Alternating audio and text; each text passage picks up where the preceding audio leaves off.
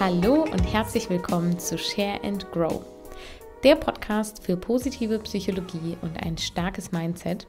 Mein Name ist Muriel Böttger, ich bin Psychologin spezialisiert auf die Wissenschaft der positiven Psychologie und ich freue mich sehr, dass du heute zuhörst, denn heute stelle ich dir ein kleines neues Format im Podcast vor, und zwar den Kummerkasten.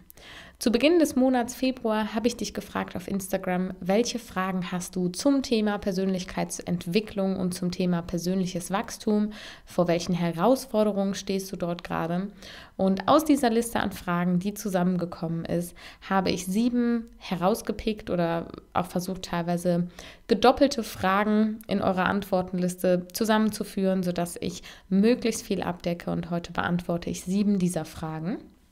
Dieses Format soll regelmäßig im Podcast erscheinen. Das heißt, halte gerne auf Instagram die Augen offen, wenn ich in meiner Story nach den Fragen für den Kummerkasten ähm, frage. Das hat sich jetzt blöd gedoppelt, aber so ist es. Dann kannst du da deine Fragen zum jeweils monatlichen Thema reinstellen. Und wenn du aber kein Instagram hast, kannst du mir natürlich auch immer eine E-Mail schreiben an hallo@murielböttger.com. Heute habe ich eure Fragen gesammelt zum Thema persönliche Weiterentwicklung bzw. persönliches Wachstum. Und ich habe ganz unterschiedliche Fragen rausgepickt und hoffe, dass damit möglichst viel beantwortet wird. Falls etwas offen bleibt, einfach im Nachgang nochmal fragen. Die erste Frage auf meiner Liste ist folgende. Wie komme ich aus einer Sinn- und Identitätskrise heraus? Ich hänge nämlich total in der Luft und weiß gerade nicht wohin. Wenn ich die Person jetzt persönlich getroffen hätte, hätte ich gefragt, was ist denn gerade dein Hintergrund? Wozwischen hängst du denn? Weil manchmal könnte man natürlich auch sagen, ja, das hängt jetzt davon ab. Aber ich finde ganz generell für solche Phasen im Leben, in denen wir in der Luft hängen, auch mal zu lernen, dass wir auch mal hängen lassen, weil dann kann der Druck aus der Situation entweichen und aus der Entspannung kann wieder Inspiration entstehen und wir können uns wieder mehr damit auseinandersetzen, wer bin ich denn eigentlich und was will ich vom Leben. Also manchmal geht es gar nicht so sehr darum, schnellstmöglich aus diesen Durchhängerphasen herauszukommen, sondern vielleicht mal zu schauen, wofür kann ich diese Phase nutzen, was kann ich hier gerade über mich lernen und was brauche ich, um mich hier zu entspannen, damit ich dann auch wieder voller Kraft und Inspiration weitermachen kann. Eine ganz andere wichtige Sache finde ich hier, ähm, gerade wenn es so um Sinn- und Identitätskrise geht, das ist, wurde ja so betitelt in der Frage, das kommt immer wieder im Leben und umso früher wir lernen, damit umzugehen und zu akzeptieren, dass es solche Phasen gibt, desto leichter machen wir uns es im Laufe unseres Lebens, weil wir immer wieder eine neue Lebensphase betreten, in der sich auch unsere Rollen verändern und damit unsere Identität weiterentwickelt. Wir haben immer wieder Phasen, in denen wir wieder einen Sinn finden dürfen. Und natürlich hat das auch etwas mit Suchen zu tun. Und man könnte sagen, man kommt nie so wirklich an im Leben, sondern es geht um die Entwicklung und den Weg zu dieser Sinnfindung, zu dieser Identitätsfindung und nicht einfach nur um das Ankommen. Weil was ist denn, wenn wir angekommen sind? Dann ist ja Stillstand und das finden wir auch langweilig. Das heißt, auch mal hängen zu lassen und einfach total in der Luft zu hängen, ist in Ordnung. Der Druck, den wir uns da häufig machen, dass wir da rauskommen müssen, der ist gar nicht so förderlich. Also frag dich hier einmal, wie kann ich jetzt gerade Entspannung finden? Die zweite Frage, die ich mit aufgenommen habe für den Kummerkasten, ist, alte Verletzungen eher aufarbeiten oder soll ich versuchen, diese loszulassen? Wahrscheinlich kannst du es dir schon vorstellen, beides ist sehr sinnvoll und am besten nacheinander. Erst einmal die alten Verletzungen aufarbeiten und sie dann durch die Aufarbeitung versuchen hinter sich zu lassen und loszulassen. Und manchmal dürfen wir das auch im Leben mehrmals wiederholen, in größeren Zeitabständen. So ähnlich wie bei einem Fleck auf einem T-Shirt, den wir mehrmals behandeln und waschen müssen, bevor er wirklich komplett weg ist. Oder Kalkrückständen im Badezimmer, die man dann einfach mehrmals ähm, ja, behandeln muss, damit sie weggehen.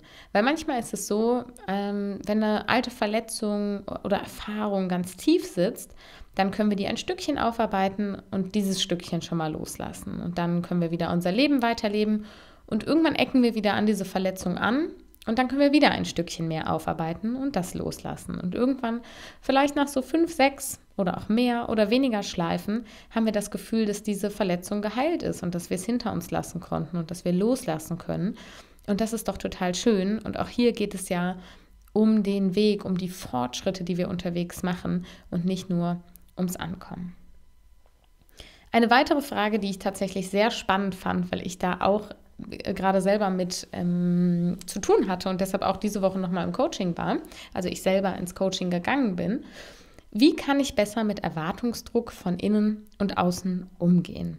Und ich finde, dass die Frage so ein bisschen die Antwort schon bereithält, denn wenn ich Erwartungsdruck auf mein Umfeld ausübe, dann habe ich wahrscheinlich auch sehr hohe Erwartungen und Ansprüche an mich selbst, also diesen Erwartungsdruck von innen, den die Person hier beschrieben hat.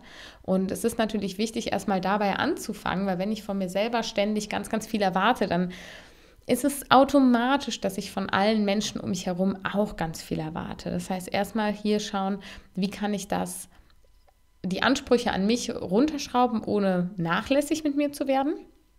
Ähm, und wie wirkt sich das dann auf mein Umfeld oder den Umgang mit meinem Umfeld aus? Ich finde, eins der wichtigsten Sachen hierbei ist wirklich die Achtsamkeit. Also Achtsamkeit heißt nicht nur, dass du Atemübungen machst oder meditierst und eben Achtsamkeit übst, sondern auch, dass du es wirklich praktisch anwendest im Alltag. Das heißt, wenn du merkst, dass du eine starke Erwartung verspürst, also einen Erwartungsdruck, der durch dich oder durch andere ausgelöst wird, dann frag dich mal, warum wird der ausgelöst? Also warum hast du vielleicht die hohe Erwartung an dich, besonders gut zu sein in dem, was du tust? Was erhoffst du dir davon Positives?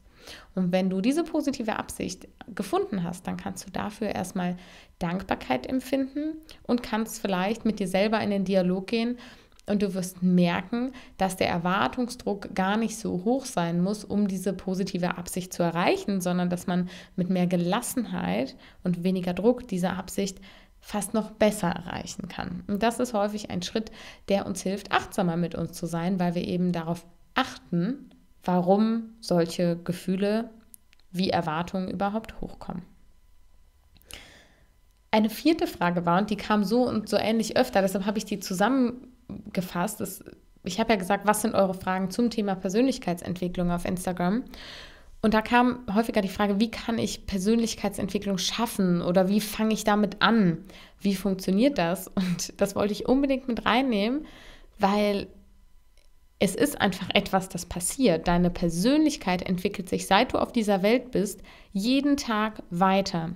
Es geht nur darum, wie kann ich aktiv Einfluss darauf nehmen. Weil dass du dich entwickelst, ist ganz logisch, weil die Welt um dich herum steht ja auch nicht still. Das heißt, jeden Tag musst du dich irgendwie wieder anpassen auf die Welt, in der du lebst und entwickelst so ganz automatisch deine Persönlichkeit weiter. Jetzt kann es aber sich manchmal gar nicht so gut anfühlen, weil wir uns vielleicht in eine Richtung entwickeln, in die wir gar nicht wollen. Das heißt, es ist besonders wichtig, sich regelmäßig damit auseinanderzusetzen, was will ich denn vom Leben? Wo sehe ich mich in Zukunft? Was sind vielleicht meine Ziele? Welche Emotionen möchte ich öfter spüren? Und dann ganz bewusst Schritte in diese Richtung vorzunehmen. Also wenn du zum Beispiel sagst, du möchtest mehr Freude spüren. Dann darfst du dich fragen, bei welchen Aktivitäten spüre ich denn Freude? Und dann darfst du diese Aktivitäten leichter ähm, oder häufiger in deinen Alltag integrieren. Und alleine das trägt ja schon dazu bei, dass du deine Persönlichkeitsentwicklung, die eh passiert, in eine bestimmte Richtung lenkst.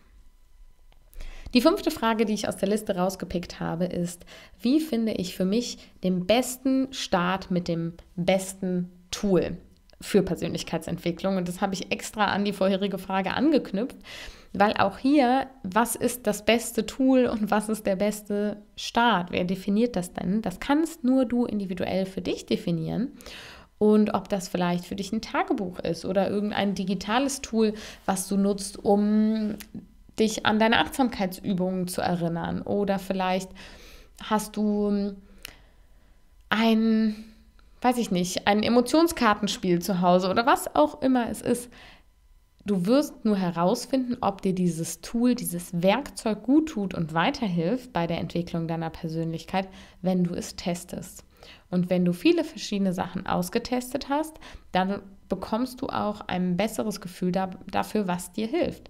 Deshalb kann ich auch jedem und jeder, die die Möglichkeit hat, nur empfehlen, in Coachings zu gehen, in Probekurse reinzuschnuppern, Fortbildungen sich anzuschauen, vielleicht mal Vorträge sich anzuhören, auf Veranstaltungen zu gehen, wenn es denn geht, oder auf Online-Veranstaltungen, damit wir merken, mit welchen Menschen möchte ich mich umgeben, was benutzen die denn für Tools, wie entwickeln die ihre Persönlichkeit, wie kümmern die sich um ihre ganzheitliche Gesundheit.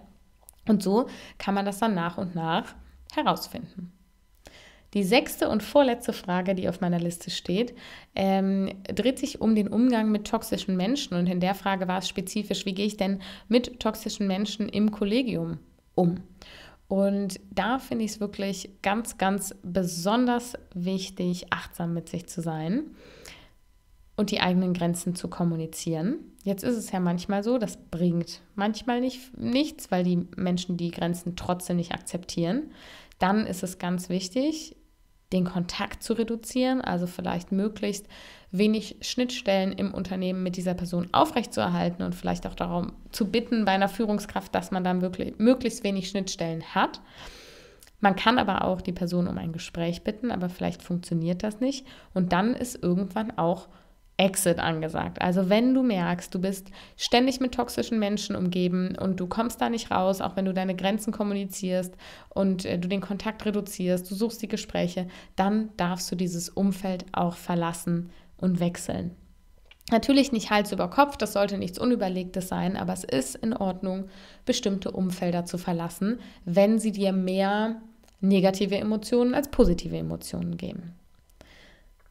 Und zu guter Letzt eine Frage, die ich sehr spannend fand, weil sie sehr spezifisch war.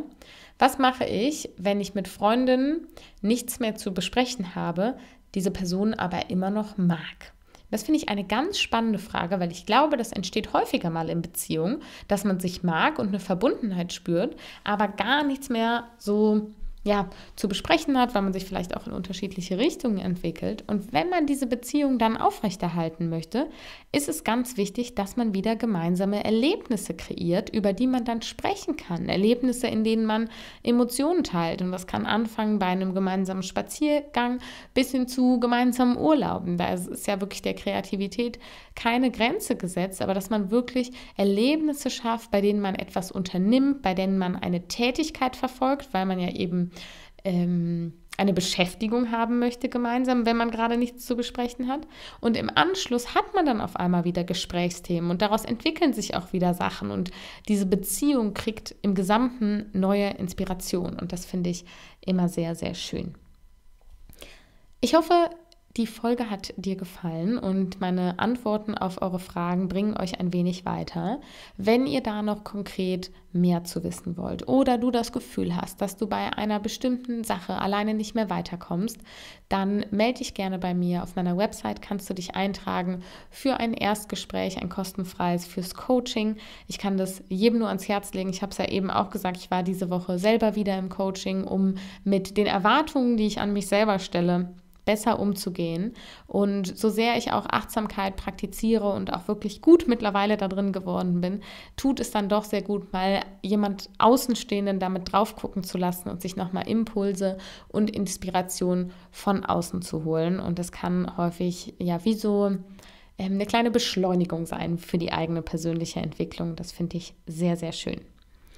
Jetzt wünsche ich dir einen wunderbaren Tag. Alles, alles Gute bei allem, was jetzt ansteht in der nächsten Zeit. Und ich freue mich auf den März mit dir. Da wartet auch ein ganz spannendes Thema auf dich, nämlich romantische Beziehungen. Und ich bin sehr gespannt, mit dir darüber sprechen zu dürfen. Bis dahin, wie gesagt, alles Gute. Share and Grow, deine Muriel.